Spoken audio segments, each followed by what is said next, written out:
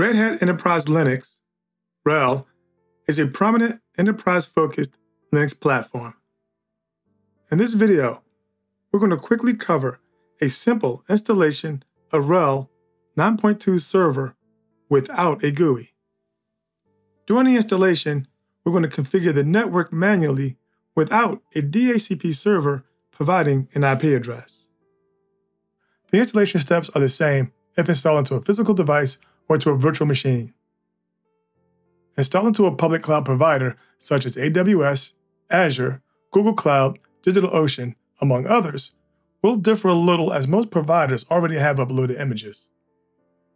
The steps here are the same for RHEL clones such as CentOS Stream, Oracle Linux, and Rocky Linux. We will cover system requirements, installation, first boot and updates, second boot, get operating system and hardware information, and appendix.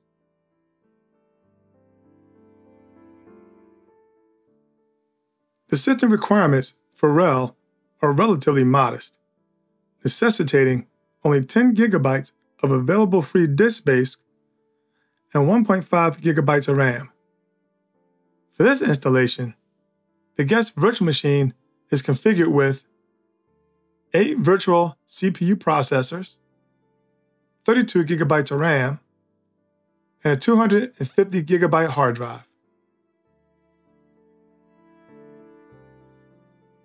After we boot with our media, we are presented with the first GNU Grub screen.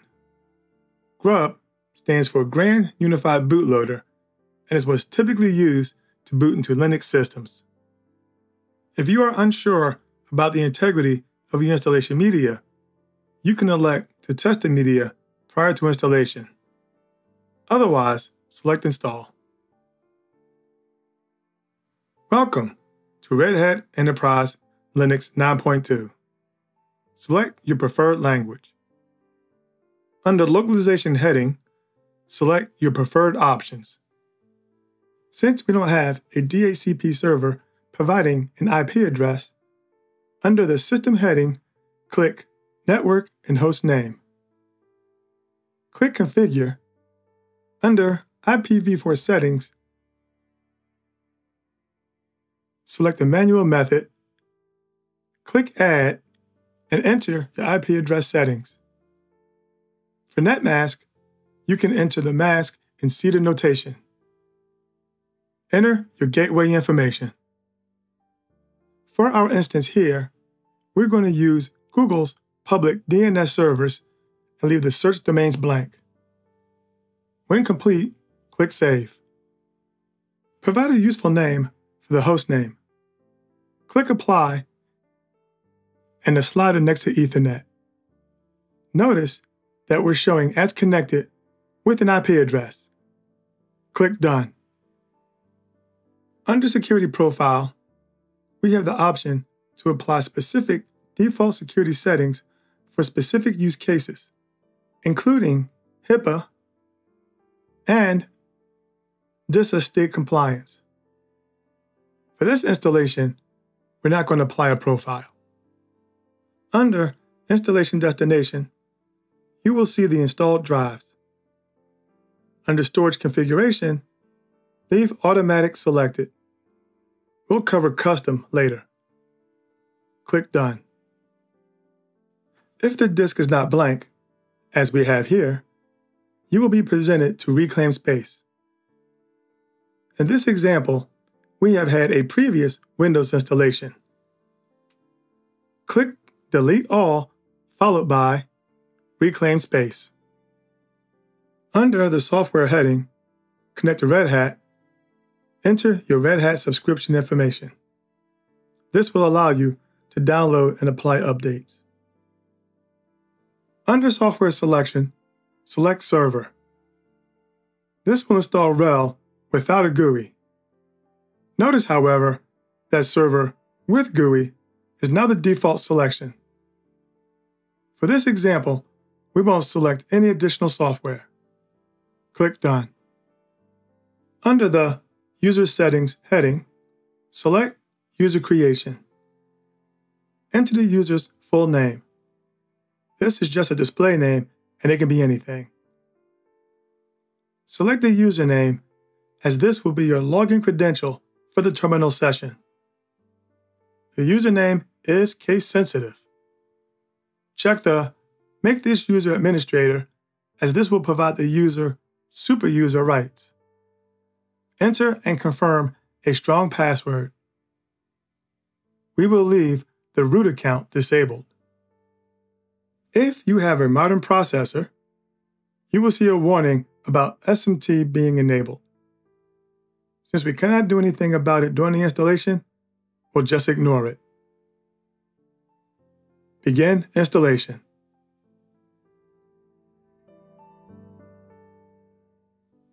Proceed to log in with your username and password. When you log in, you'll see that you will have a dollar sign prompt indicating that you are logged in as a standard user. Later, we'll cover how to switch user to root even though the root account is disabled. Fully update the system. Elevate your privileges using sudo, which means super user do. Enter sudo dnf update. When prompted, input your password. The system will update its inventory and find necessary updates. Type Y to continue with the update. If you are prompted to accept and import a GPG key, type Y to accept. Once the system is fully updated and you are back to the dollar sign prompt, type sudo reboot to reboot the system. To see the operating system name and version, type cat forward slash etc forward slash os dash release. To see full kernel information, type uname dash a.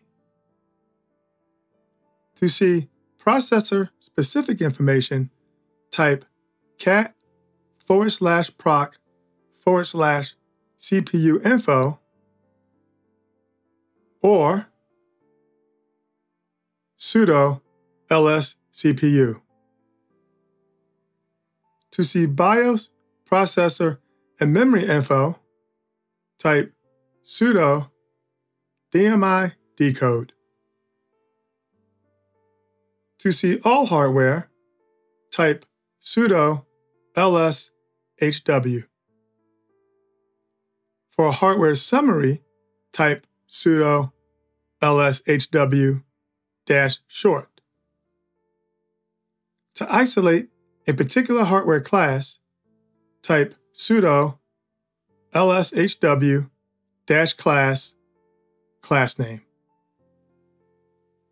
For each of the commands that span multiple pages, pipe the output to either more or less. Piping the output to less allows you to use the keyboard up and down keys to scroll through each line. Hit Q to quit.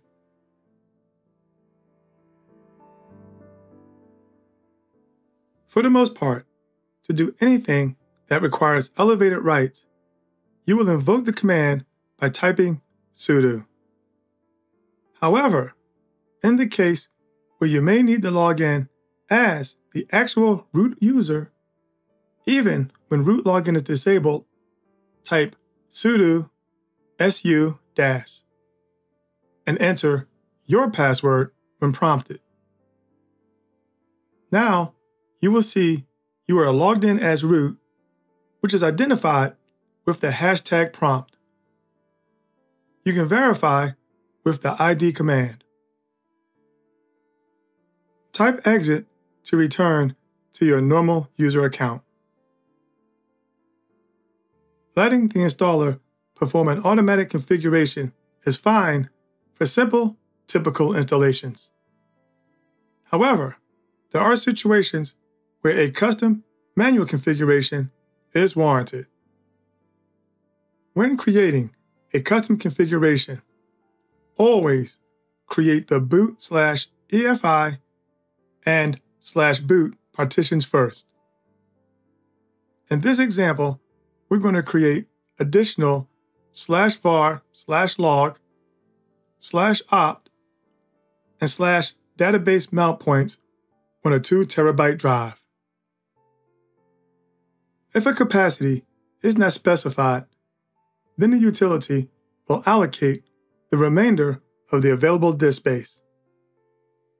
For device type, leave as LVM for maximum flexibility. Use standard partition only if required. The default file system for modern RHEL systems is XFS. Change to ext4 or another file system if desired or necessary. When completed, click Done, followed by Accept Changes. Most modern Linux distributions now use Network Manager to provide a simple, consistent way to manage network configurations with a robust command line interface called nmcli. Type nmcli help to see options and objects. Type nmcli to see the interfaces. Likewise, you can type IP address or the legacy ifconfig to see the interfaces. Here, our interface is ETH0. Type nmcli connection show ETH0 to see all connection properties. Since we're only concerned with IPv4 address information, type nmcli connection show ETH0 and pipe that to grep IPv4. We are interested in setting the highlighted properties. Using one command, we can set the IP address, subnet, gateway, and DNS. Notice that the IP address and subnet are set using CIDR notation. Now we have to set the method to manual. Restart the interfaces. Check IP information via nmcli, IP address, or ifconfig.